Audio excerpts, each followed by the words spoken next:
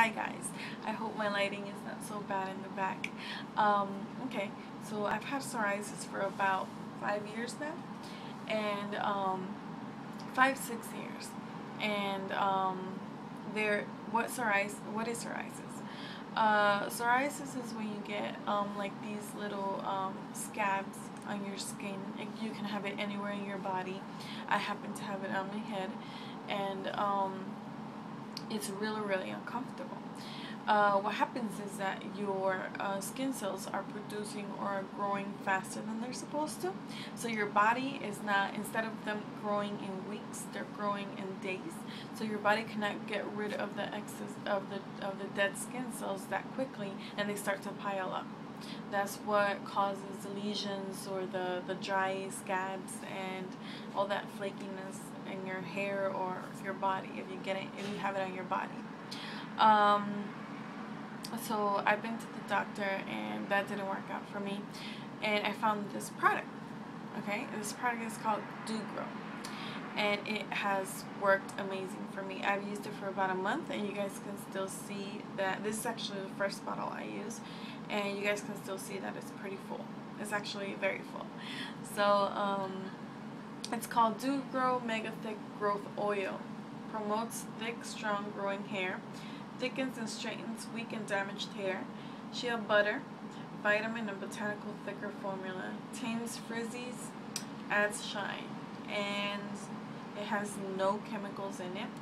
Um, how do I use this product? Okay. So you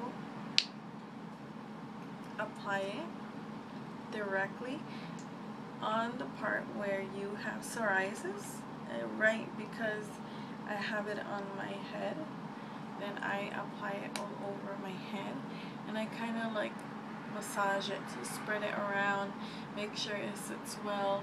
If you have psoriasis behind your ears then you put a little bit and you kind of like do it, spread it behind your ears.